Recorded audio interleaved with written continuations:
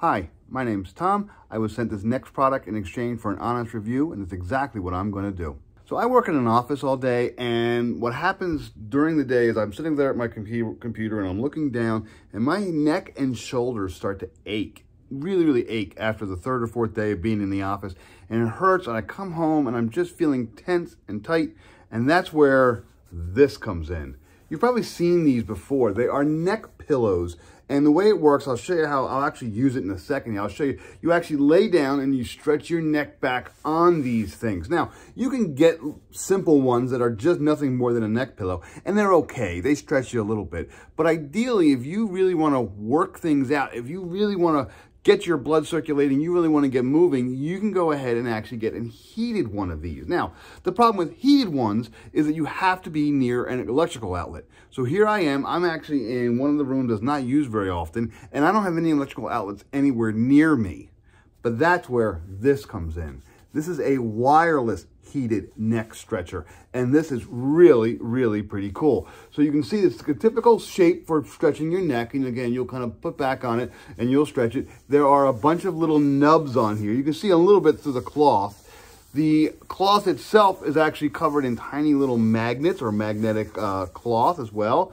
And then the real feature right here is this power button. Now, the power button is hooked up to a battery. There's a battery inside this thing. So it comes with a USB cord and a USB-C connection. So USB, so you plug this into any kind of a USB charging block uh, that you have. You just plug it in and you plug this other side into the side of the actual button right here. It just kind of just clicks in there like that. And when it's charging, this little thing will blink red. It takes about two and a half hours to charge, but then once it's charged, as mine is right now, it actually will give you about two hours of heat without any sort of a cord. So you can go out in your backyard. If you have a place to lie down back there, you don't have to be near things. You can go into a room that doesn't have any electrical outlets. You don't have to worry about extension cords or being close to a power block. Once it's charged up, you just kind of press it on for a second here.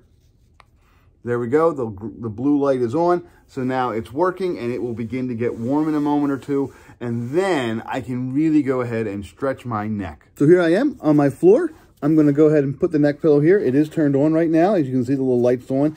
I'm just going to flip it around because that's how I'm, I am. Uh, this is, again, a room where I don't have any electrical outlets anywhere near me, actually. Let me kind of line myself up with the camera as well. Okay. Oh, I can already feel it. Ah, oh, that feels good. Uh, I can actually feel my back settling on the floor, uh, but my neck, there we go.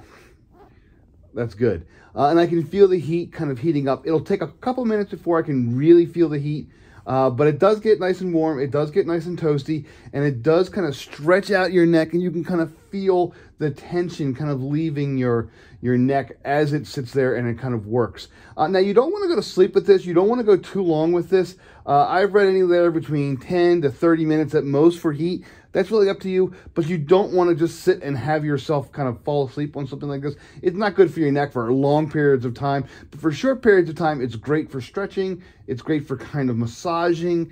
I like to kind of go back and forth a little bit and kind of really kind of get it in there, kind of get out some of those knots in the back of my neck, slowly ramping up. It does not get hot, hot. You won't get burned with this, but again, just for safety's sake, you don't want to leave it against your skin for more than, let's say, 10, 15, 30 minutes, whatever the recommendations are for this. So I've been using this for about a week now, and uh, I actually do notice a difference. I have had a regular neck pillow before, one of these little stretchers before, uh, but I didn't have any heat with it. This actually is the heat itself actually really, really helps. And I can kind of feel those nubs on it, but the heat kind of gets the things flowing. It kind of feels good. It makes me feel a little more relaxed, just kind of thinking about that heat there. So yeah, it, it really works pretty well. And again, you just charge it up and then you can take it anywhere you want.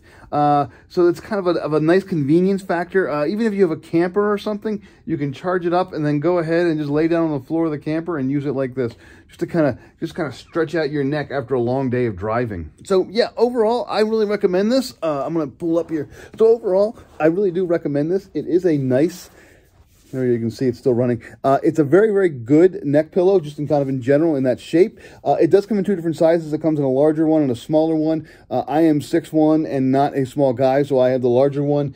Uh, if you're very petite, you may want to think about the smaller one. But uh, otherwise, yeah, it works really well. Again, the heat uh, is going right now. You just kind of press it to turn it off right there.